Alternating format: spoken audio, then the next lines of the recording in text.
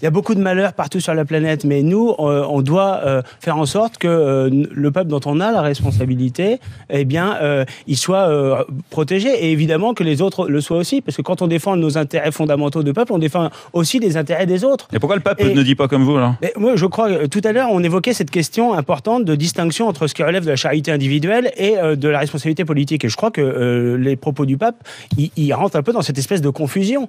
Il y a, bien sûr que si on a quelqu'un qui est en danger de mort immédiat, on va lui prêter secours. Mais euh, on ne peut pas faire entrer massivement une immigration alors qu'on a dépassé depuis longtemps le seuil de saturation. Parce que ça fait 40 ans qu'on est à 200 000 entrées légales par an, sans parler des dizaines de milliers de clandestins. On n'est plus en situation de les accueillir convenablement parce qu'on a 6 millions de chômeurs, parce qu'on a 9 millions de pauvres. Ou alors, il faut dire la vérité aux Français, c'est-à-dire qu'on va accueillir des migrants.